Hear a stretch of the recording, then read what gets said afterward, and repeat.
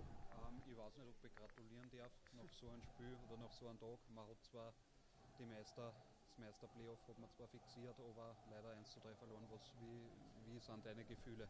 Ja, die Enttäuschung überwiegt natürlich, das ist ganz klar nach, nach, nach dem Spiel.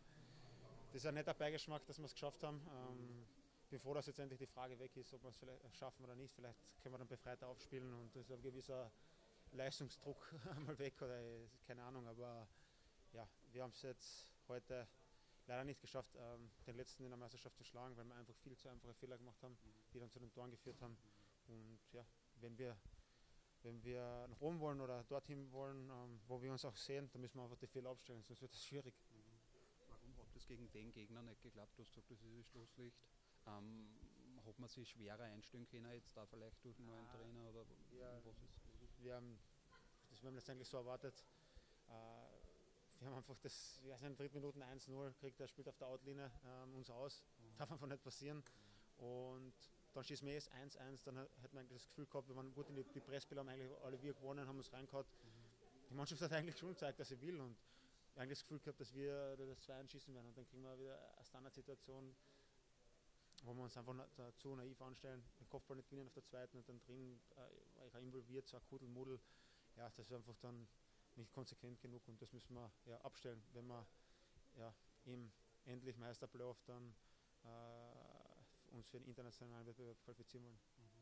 Ähm, die spielerische Vorgabe, was war genau, es habt halt viel über hohe Bälle dann nach vorne gespielt, war es nicht anders zu knacken jetzt, sage ich mal, die haben da mit einer Fünferketten gespielt, dass man da durchkommt oder? Ja, das, da haben Sie recht, da müssen wir wir haben vielleicht verabsäumt, ähm, über die spielerische Komponente zu kommen, haben den einen oder anderen hohen Ball zu viel geschossen, aber das ist eben genau das. Wenn du so einfach einen Fehler machst, dann kommst du in den Rückstand und dann muss der, muss der Gegner nicht aufmachen, kann sich hinten reinstellen. Mhm. Und dann wird es immer schwieriger. Wenn wir die einfachen Fehler ähm, abstellen können, dann, dann wird der Charakter vom Spiel ganz anderer.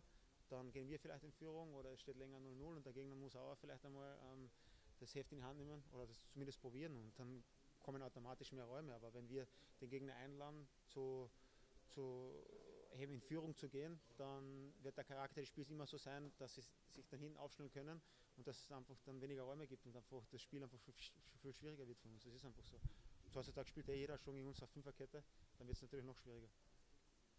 Ähm, wie wird es jetzt im letzten Spiel gegen Sturm, auf was kommt es da? Muss man sich da schon einstellen jetzt dann auf Meisterrunde? Muss man da ah, dagegen halten? Ich weiß gar nicht heute, was ich sagen soll. Wir sagen immer vom Spiel heute, ja, habe wirklich keine Antwort auf die Frage, was wir jetzt nächste Woche machen. Ich muss es einmal sacken lassen heute und mhm. mal eine Nacht drüber schlafen.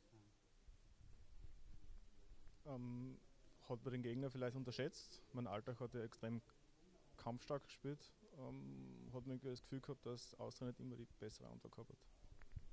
Was gehabt hat am Schluss? Die Antwort, die richtige Antwort auf das kampfbetonte Spiel gehabt hat würde jetzt nicht so sehen, weil man die, die, am Anfang hernimmt, uh, die ganzen Pressbälle, wo wir reingerutscht sind, die waren eigentlich alle auf unserer Seite. Wir haben einfach, ja, ich habe es ja gerade vorher erklärt, das eigentlich, müsste ich mir jetzt wieder wiederholen.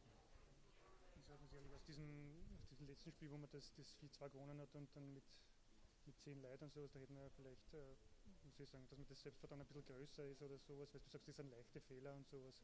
Hängt das nicht damit zusammen, diese, solche Unkonzentriertheiten, dass man vielleicht mehr mit sich selber hadert?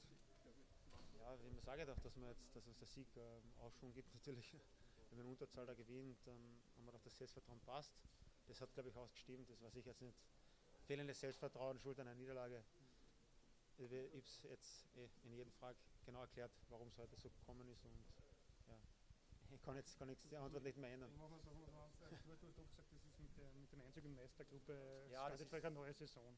Ja, ist das so das ist gut, ja, dass endlich einmal die Frage weg ist, ist doch ein gewisser Druck. Jeder, wenn man irgendwo, keine Ahnung, ein soziales Netzwerk irgendwo irgendwas aufschlägt, steht nur, wer kommt in die Meisterrunde und wer nicht. Und das kann man eigentlich gar nicht, aber wenn man es nicht lesen will, man, es wird immer, steht immer ähm, am Display und irgendwie jeder, jeder spricht hier drauf an. Und jetzt ist die Frage endlich einmal geklärt.